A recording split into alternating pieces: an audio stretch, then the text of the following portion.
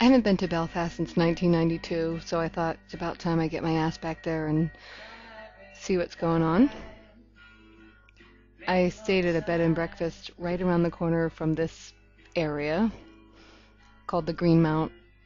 Very cute, like 40 pounds a day or something. Everyone told me it's the worst part of Belfast, West Belfast. But since the trouble is over now between the Catholics and the Protestants, it's not that dangerous. I mean, everyone told me it was really dangerous, but I walked around alone all the time because the people I went to visit were really busy, so I had to entertain myself as I do. And one day I met this guy who showed me where the Belfast wheel is, and that's me on the wheel. And I took a ride on the wheel. And this is a view from the wheel. They were going to call it the Belfast Eye, like the London Eye, but people from Belfast say I, I, I all the time, so it would have been like, are you going to the Belfast Eye, I? This is a view from it. It's so pretty downtown. And you know what? It rained almost every day, but then there was rainbows directly after it. I saw rainbows just about every day I was there. And there was double rainbows. If you look carefully, you can see that there's like two. That's Vivian, the woman who owned the bed and breakfast that I stayed at. She was so nice to me, like helped me out with everything. And that's Michelle, my girlfriend, who is madly into Steve Vai. I haven't seen her for two years. Last time I saw her was at Steve Vai show in Dublin. And she has a tattoo on her left wrist. I mean her right wrist, and that's mine on the left. I just drew it on with a sharpie. Just for fun.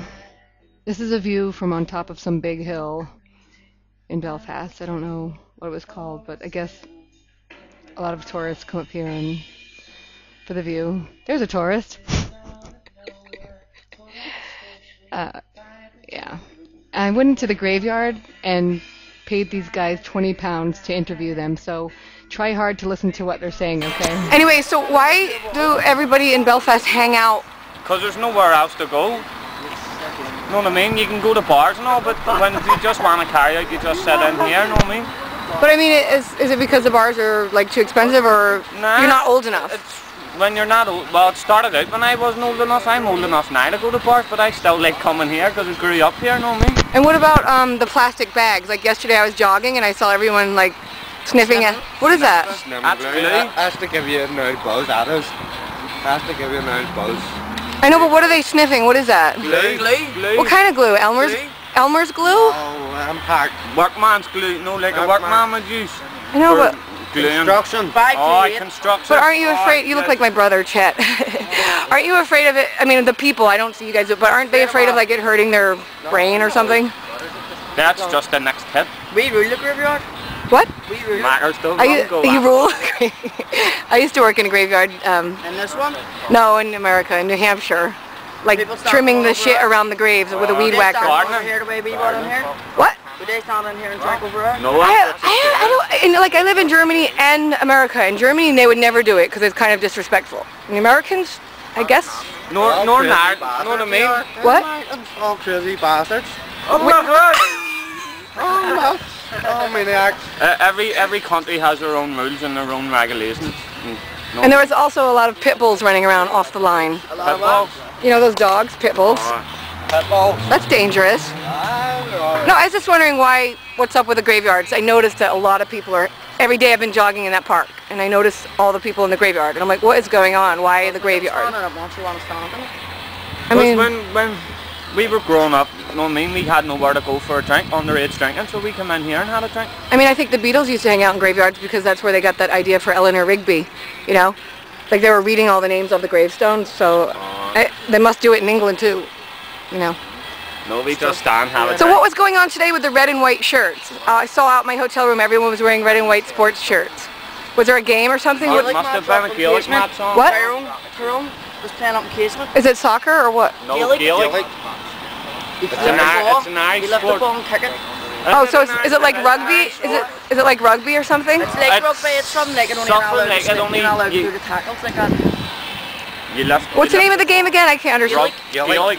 Gaelic? Gaelic, and then there's Gaelic I thought. Gaelic is like a. An Irish hang An, an Irish sport. It's an Irish sport. Oh, Hur- hurling. but I thought it's a language. You speak Aye. Gaelic, Or is it Oh, Gaelic there is a oh, language? Gaelic Gaelic language language. too. But that's oh. the and it's and it's a sport. It's like American Oh. football, know what I? I hate American football. Too much padding.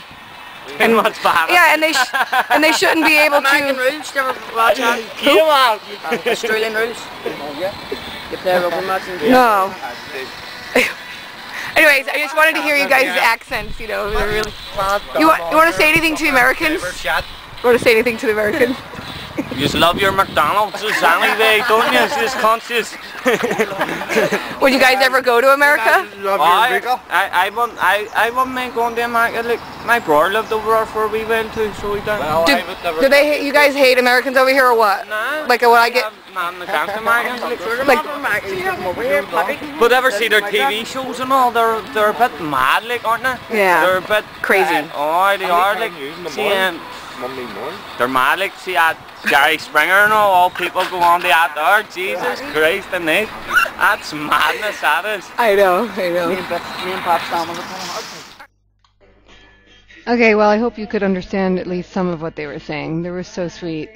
They were really scared. They thought it was like they thought I was a reporter or something, but in the end, I won them over, and we all got along. Hope you like my little video.